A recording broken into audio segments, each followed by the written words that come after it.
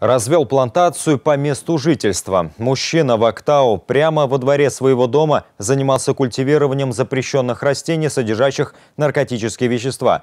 Проще говоря, выращивал коноплю. Днем ранее полицейскими был задержан другой житель города, который хранил и сбывал наркотики. Моя коллега с оперативной сводкой региона.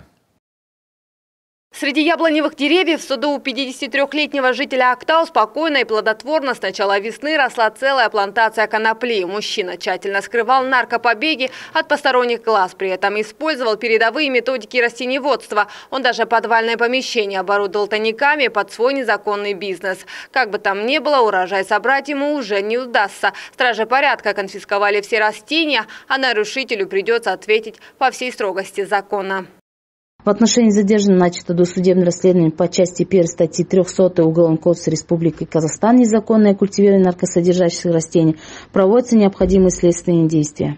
Пока одни разводят в крупных размерах, то другие или продают, или употребляют одурманивающую траву. Это уже следующий факт. В квартире жителя Актау правоохранители обнаружили и изъяли несколько свертков с веществом растительного происхождения. Как показала проверка, это гашиш. Такой же вид наркотиков и несколько свертков марихуаны обнаружены и на съемной квартире подозреваемого.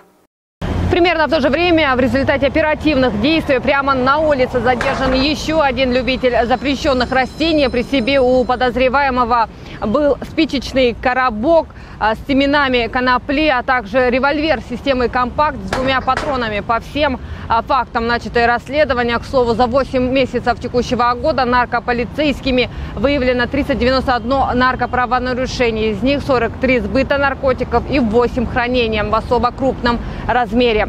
Салтан Тайджанова, Аманда Каманкулов, ТДК-42 из Мангистауской области.